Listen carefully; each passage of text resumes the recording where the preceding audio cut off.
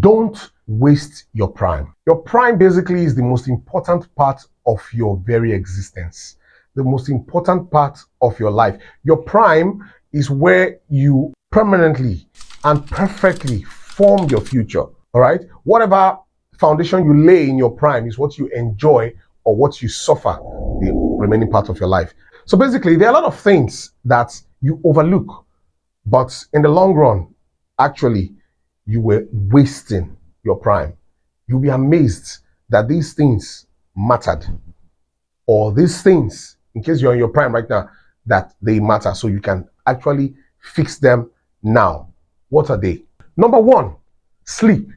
Sleep is a major destroyer of a future, a major destroyer of a vision, a definite major destroyer of your entire life if you let it creep into your life early. Sleep is one of the major sources of poverty.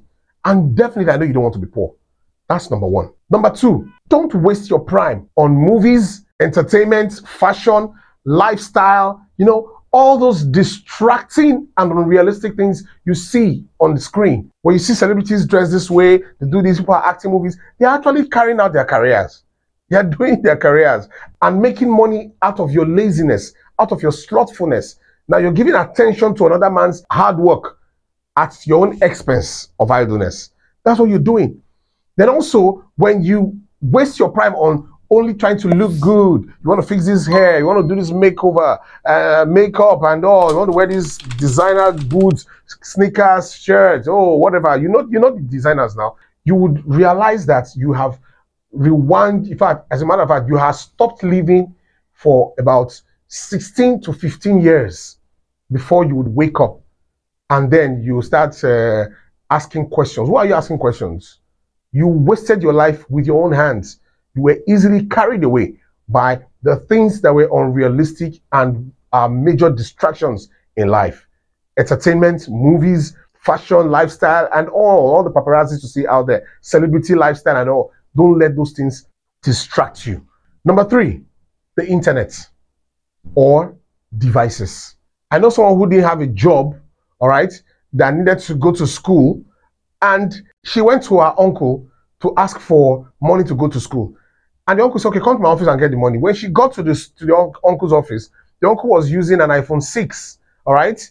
The girl came to see the uncle, the girl whose parents live in a room and parlor apartment. All right. Struggling to feed her and her uh, four other siblings.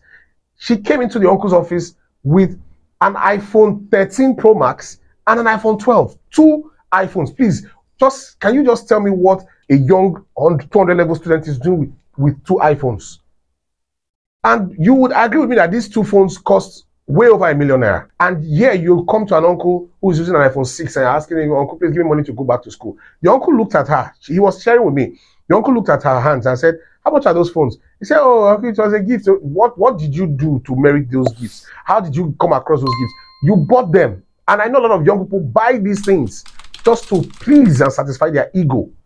And they are lost for these, these material things. And he looked at her and told her, I was supposed to give you 50k, but I will just give you 15k. Take and go to school. Go and sell one of these phones and help your parents live the level they are in. You are a selfish child. Those were his words to, to, to, the, to the young girl. A lot of young people are distracted. You are in your prime and you are hunting after the latest device, the latest Samsung, latest iPhone, the latest Tecno, whatever the devices you're very fond of.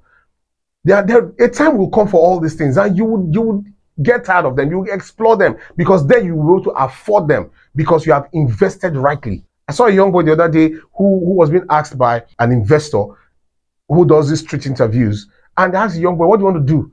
The boy said, What what are your passions? The boy said, Okay, well, I want to be a fashion designer. I want to do this, I want to do that, I want to do that. And if I have this opportunity, okay, I have a space in my room and I cut this and I do that.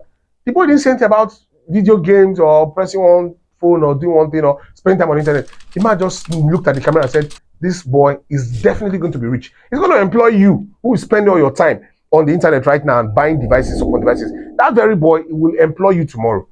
And you would say no condition is permanent or oh, God is not fair. God gave all of you equal opportunities, but you misplaced your priorities along the way. Number four, don't waste your time pleasing people at your own expense. Because whether I like it or not, you're on your own. You need to protect yourself, care for yourself, same way you're caring for others. When you tell people don't waste your time pleasing your prime, pleasing people, they misunderstand it for becoming insensitive or being uncaring or being harsh or being selfish and mean. No, it means not none of these things. It simply means that make you your priority. All right? Make your success, your progress, your priority. First, then you can carry other things along. Number five, don't waste your time having dumb relationships, having uh, friends who would fill your head with lies in the form of compliments. All right, have live a carefree life. You party, you take drugs, alcohol, you smoke, and all. Have sex, and that is all about you know. You know, you're living for the moment. Forget about tomorrow. Tomorrow will take care of itself. You know, these vices can inflict irreparable damages, not just in your body, but in your mind and in your soul. Some never recover from them in the process of this kind of lifestyle. All right? Keeping dumb relationships that are not productive, that are not constructive. Don't waste your prime in having such relationships. Number six, dating toxic men or women. When you date a toxic man, because you're in your prime, you're carried away with his looks, with his physique and everything. And you know, you're just infatuated. All you care about is how you could have sex with him, go out on dates, go out on boat cruise, you know, go on vacations and all, go and eat isiewu and chop chicken. That is all you live for. You're wasting your prime on toxic men or maybe a toxic woman who only cares about what she would eat and eat and eat and eat and how she would look. Nothing. She offers nothing else to the table. A lot of ladies wasted their prime by sleeping with lots of men. And when they get to their 30s, they start wondering where all the good men went. You've already slept with them. Don't make a boyfriend out of your husband. And don't make a husband a boyfriend. I, I, I hope you get that. And lastly, don't waste your prime chasing after money. I know someone in their mind has given me a very hot slap and I say, hey, are you okay? What do you mean by that? There's a difference with chasing after money and investing in yourself for the future. Some people misplace both and they go after money in such a way that the money becomes their God. The money becomes the only goal. So no matter what they need to do or uh, whatever comes their way, they crush it as long as they can get that money. When money becomes your God in that magnitude, that is what I'm referring to. All right. So don't chase after money in your prime. What you should do in your prime is investing in your character, in your spirit, in your mind, in your body, all right, in your mental wellness. Then, along with that, simultaneously, you are also investing in your career, in your talents, in things that would bring in money that you can use to take care of yourself and protect all these values you have acquired along the way so that you'll be comfortable. Because I want to advise you to go and marry one man's daughter and keep her inside house to be using pounded uh, mortar to be pounding uh, this thing for you every day. Meanwhile, there's pounder. If you can afford the pounder, buy it for her. Don't make her pound. So I'm not asking you to be poor or be broke in the name of preserving your prime. No. You can also be successful and you are not chasing after money. Instead, money will end up chasing after you. Let's assume that you send this video now, you are no longer in your prime and you're having regrets. Oh, I wish I would. No, there's no time for regrets. No time. Sit up. No time for regrets. This is the time to revisit the drawing board, re-strategize for the other remaining part of your life.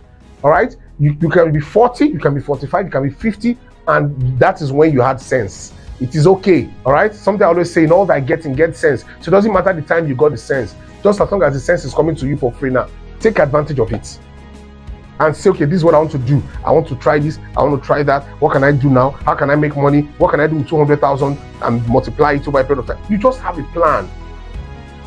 Just re strategize. And I promise you, and I promise you, you'll be glad you took that bold step because it will work in your favor at the end of the day. Don't forget to like, share, drop your comments, and subscribe. I'll see you again in my next video.